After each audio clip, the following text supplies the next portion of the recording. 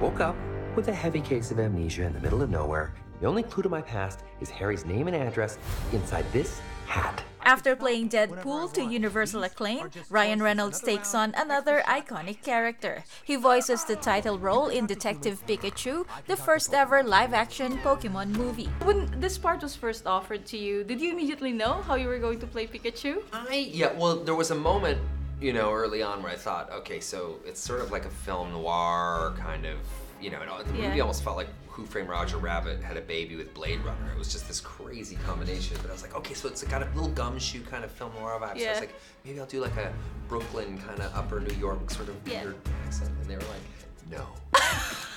just do you.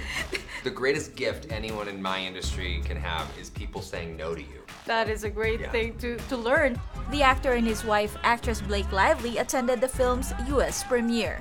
With a third child on the way, the actor reflects on how achieving success later in life helped him become a better man. You started early in the industry. How did you find that path towards, you know, to, to be where you are right Yeah, now? my path to where I am now, mm-hmm. I'm very, very lucky because my path to, to, to mm-hmm.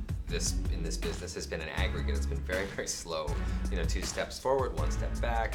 You know, and and because of that, I'm grateful. It kept me pretty grounded and kept me pretty normal. And I think I look at some of these uh, stars right now that have these meteoric rise to fame, and I and I can see how how utterly challenging that has to be. Uh, you must be just in a moment by moment showdown with your darker self when that happens. And uh, so I, I always like I'm always afraid, frightened for like a, a, a young actor or actress Yeah. or singer uh, who just becomes an overnight sensation because that's something I don't think anybody is Scary. equipped to deal with.